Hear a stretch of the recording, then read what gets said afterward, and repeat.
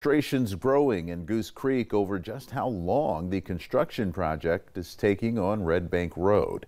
Meredith Blair shares what both residents in the county have to say about it.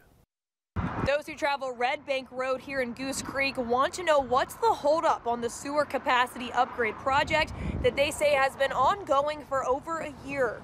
Traffic backups and safety of those traveling along the construction area are the main concerns residents I spoke with have. They're also concerned about lack of transparency, saying Berkeley County has not provided updates on what's going on with the project and when it will be completed. The county tells me next month will consist of finishing the sewer line installation, permitting and testing is set for February, and in March the above ground bypass line will be removed and the project area will be repaved. Goose Creek resident Robert Dodson describes this work as a hassle.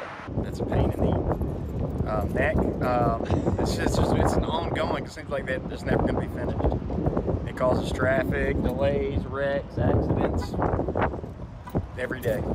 The county tells me all work is weather dependent and they have no comment on the delay of this project completion. The full story tonight at 7 o'clock. Reporting in Goose Creek, Meredith Blair, Live 5 News.